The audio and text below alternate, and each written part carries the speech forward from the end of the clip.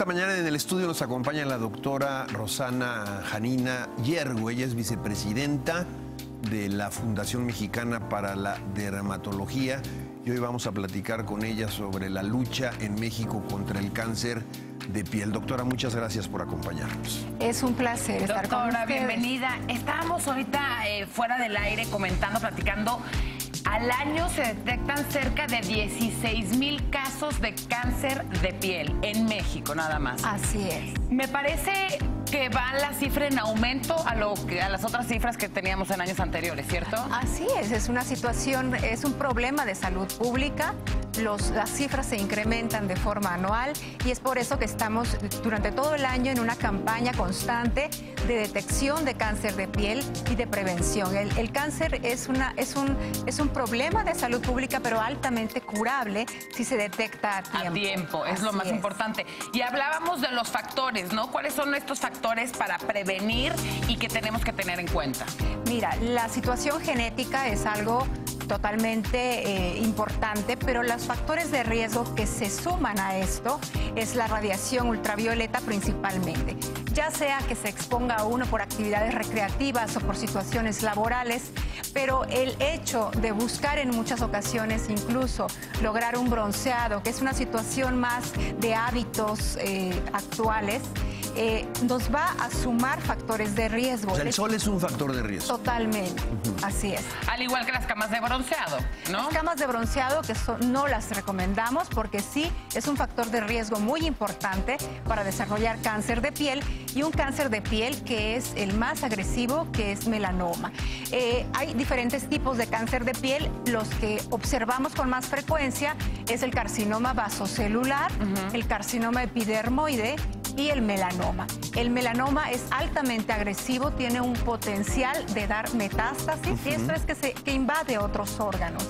Y eh, la tristeza de llegar a tener un melanoma es que se llega a diagnosticar generalmente ya en situaciones en donde este cáncer ha invadido otros órganos y en donde ya el tiempo de sobrevida a cinco años realmente es muy corto. Señales de, de alerta. Exacto, eso es, eso es lo más importante, detectar una lesión que eh, puede llegar a ser un cáncer.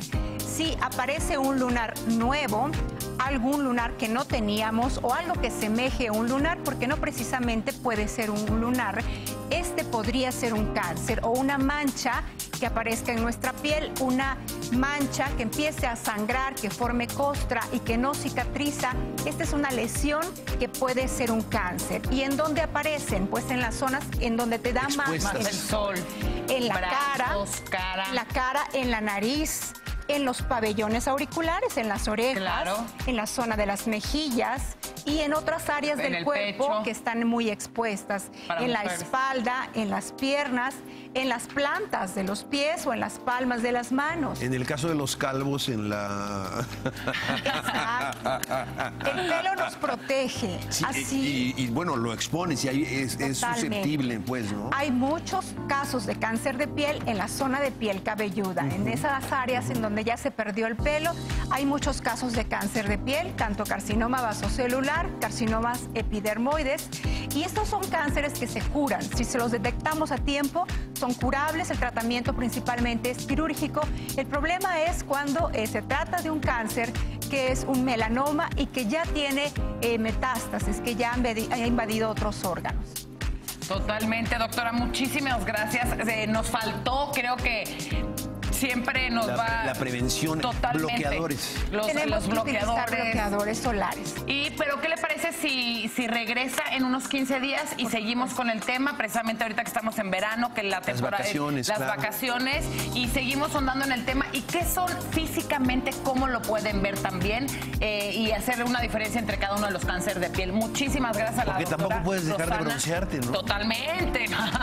Nos podemos broncear y cuidar del sol también. Totalmente. Doctora Rosana, muchísimas gracias por Gracias, su presencia. doctora. Es momento